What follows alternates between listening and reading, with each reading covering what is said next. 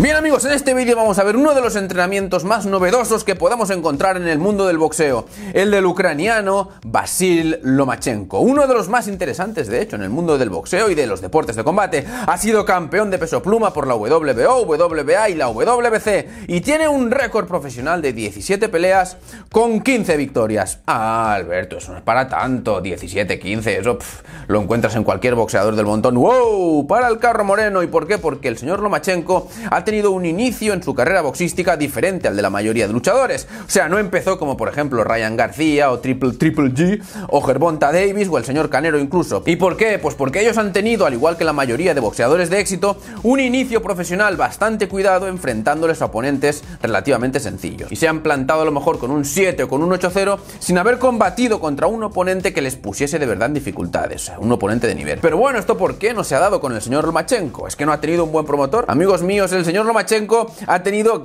prácticamente al mejor promotor que podría haber encontrado, el señor Bob Arum, que es algo así para el mundo del boxeo como el señor Barnes en Los Simpsons, o sea, un tirano, un tirano superpoderoso multimillonario, que tiene a Manny Pacquiao y a otros muchos boxeadores, es el fundador de Top Rank, o sea, que lleva desde los tiempos de Tyson, no, incluso antes, o sea, desde finales, desde principios de los 80, más o menos finales de los 70.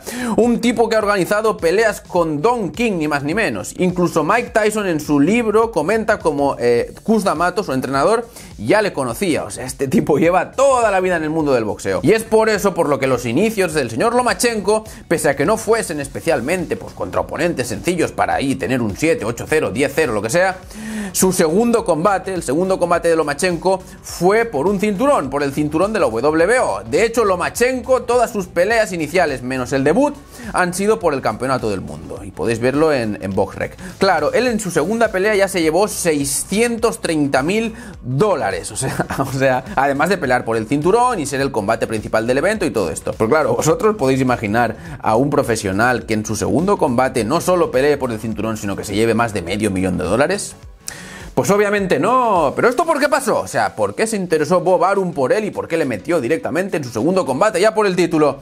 Pues porque el señor Lomachenko será fácilmente uno de los mejores, si no el mejor amateur de la historia. Su récord es de 396-1. O sea, o sea, solo perdió una vez y ganó casi 400. Ganó una medalla de plata en el Campeonato del Mundo de Boxeo Amateur en 2007, oro en el Campeonato de Europa del 2008, oro en los Juegos Olímpicos de 2008, oro en los Juegos Olímpicos de 2012, oro en el Campeonato del Mundo de 2009, oro en el Campeonato del Mundo de 2011 y claro, esto es algo muy brutal y era muy conocido en el mundo amateur, ya os digo, por ser prácticamente el mejor, para, muchos el mejor de la historia. Claro, su experiencia amateur se refleja, al igual que pasaba con el señor Golovkin, en su manera de pelear. ¿Y por qué? Porque los combates amateur tienen una estructura diferente a los profesionales. Lo primero, hay menos caos. ¿Y por qué? Porque la puntuación es más importante, los guantes son más grandes, también hay más protecciones, esto, bueno, en función del país. Claro, todo eso hace que los luchadores, antes que ser potentes, tengan que ser rápidos. ¿Y para qué? Para entrar y salir, puntuar, angular, eso es muy importante por eso también es por lo que suele haber bastantes jóvenes en las competiciones,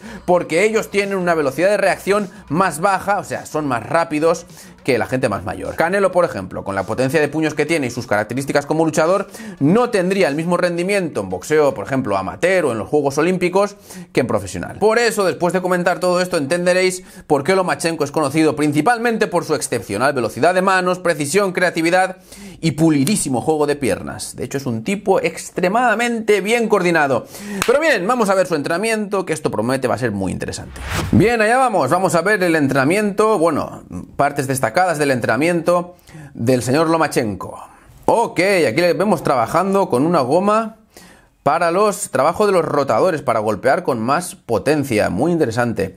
Aquí le debemos trabajando los aproximadores del tren superior. ¿Para qué? Principalmente para compensar y no tener lesiones después en la parte alta de la espalda. Bien, aquí trabajo con las cuerdas para la resistencia y la, la potencia. Ok. Qué trabajo más interesante de coordinación oculopédica. Mirad qué bien coordina el movimiento, muy interesante, muy interesante. Vale, aquí es una prueba de la capacidad respiratoria, bien. Aquí algunos ejercicios de esquives.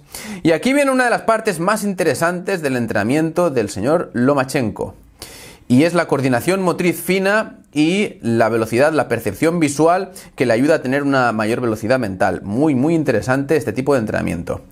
Ok, con el punching ball, veis, está dando vueltas y para hacer eso tienes que estar muy coordinado y también es muy interesante hacer ese tipo de, de, ejercicios e innovar siempre para pasarlo bien. Ok, ok, ok, muy interesante. Creo que iba haciendo el pino. Oh, de nuevo. Vamos a ver, hay tantos ejercicios que es difícil comentarlos todos, pero ahí le, vimos, voy a parar esto, le hemos visto tocando los puntos en los que se activaban las luces, ¿para qué? Para la velocidad de reacción principalmente y también para la precisión, porque claro, hay muchos eh, circulitos y tienes que tocar el adecuado. Eso desde luego que te aumenta, te mejora el rendimiento y sobre todo lo que más me gusta es que hay variedad en el entrenamiento y eso es algo fundamental, fundamental para seguir evolucionando, creciendo y para pasarlo bien, que es lo más importante. Evitar después que se den también, pues, eh, que el luchador acabe por odiar el entrenamiento, que es lo que les pasa a muchos porque es tan, tan, tan repetitivo que acaban por eh, detestarlo con los años. Bien, aquí le, le vemos dando toques a un baloncito. Bien, de nuevo, coordinación oculopédica. Todo esto, vamos a ver, no es Oh, malabares. Vale, trabajo con el, punching ball para la precisión. Ok, ¿veis qué coordinación oculopédica tiene? Esto es fundamental a la hora de moverse por el ring. Incluso os voy a decir otra cosa. Os voy a decir otra cosa importante.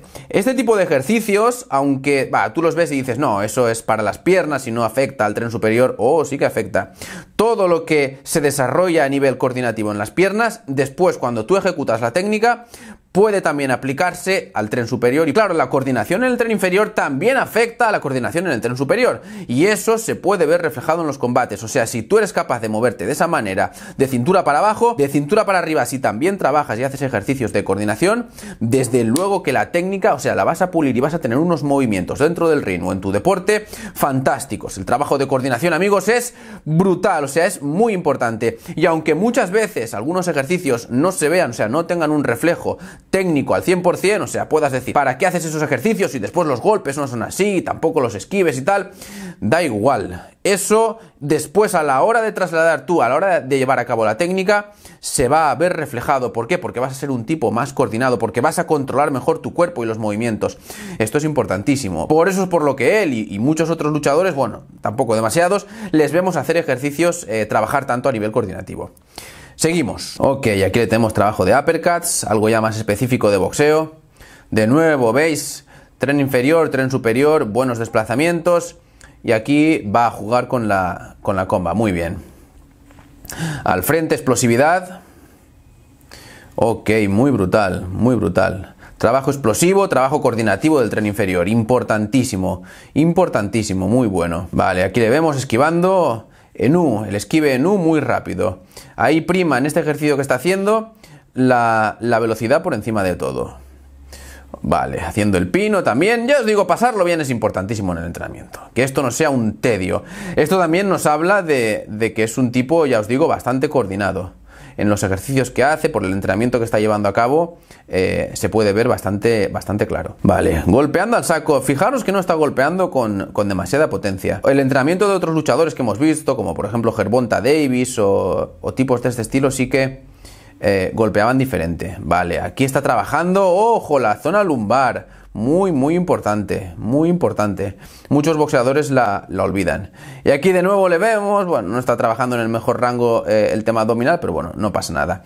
Y aquí, ok, ejercicios izquierda, derecha, izquierda, derecha, izquierda, derecha, de nuevo para la coordinación oculopédica. Y esto tiene aplicación a los desplazamientos y a todo el trabajo que tenga que ver, obviamente, con el tren inferior, incluso con los, con los esquives, porque no olvidemos que los esquives también, o sea, las piernas también tienen un papel bastante importante a la hora de esquivar.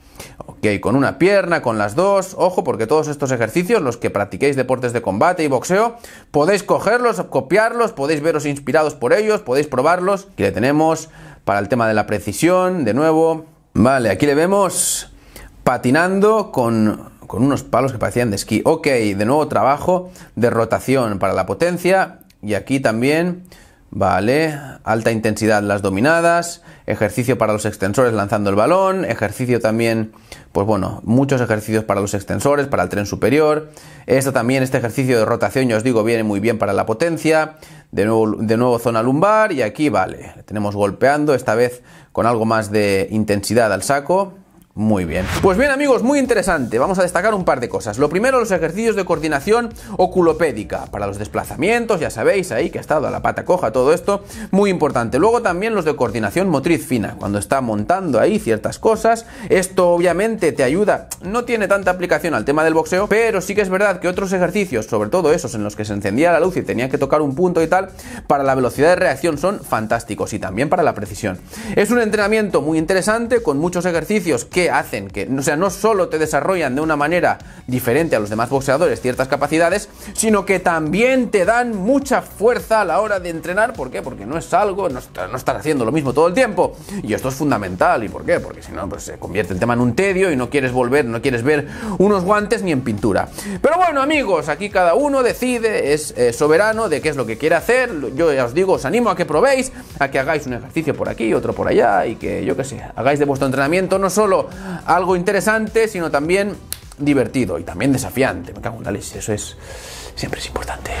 Y nada más, esto ha sido todo en este vídeo, chicos. Esperamos que os haya gustado, que lo hayáis disfrutado. Ya sabéis, tenéis mi Instagram en la primera línea de la descripción y también un correo para el tema de los entrenamientos personales. Nada más, ya sabéis, a entrenar.